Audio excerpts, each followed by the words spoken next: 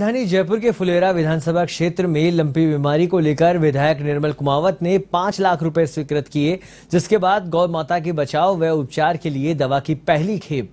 सोमवार को पशु चिकित्सालय पहुँची, जहाँ भाजपा कार्यकर्ताओं ने गौ सेवकों के साथ पशु चिकित्सक डॉक्टर राज सिंह शेखावत को दवाइयाँ सौंपी। डॉक्टर राज सिंह शेखावत ने बताया कि ये सभी दवाइयाँ फुलेरा विधानसभा के सभी चार नोडल की 40 संस्थाओं के उपकेंद्र और हॉस्पिटल्स में वितरित की जाएगी।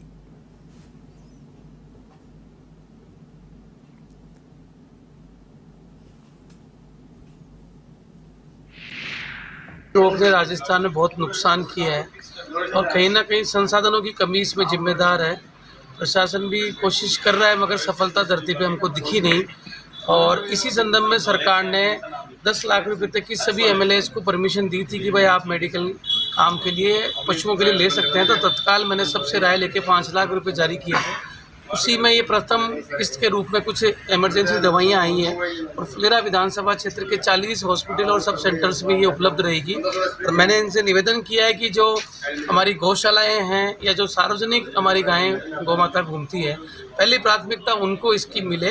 क्योंकि अगर काश्तकार है या कोई निजी दूध पालक है, वो तो फिर भी पैसा खर्च करके दवाई ला सकते हैं। मगर जिसके लिए कोई अगर व्यवस्था नहीं है पहली प्राथमिकता उनको मिले।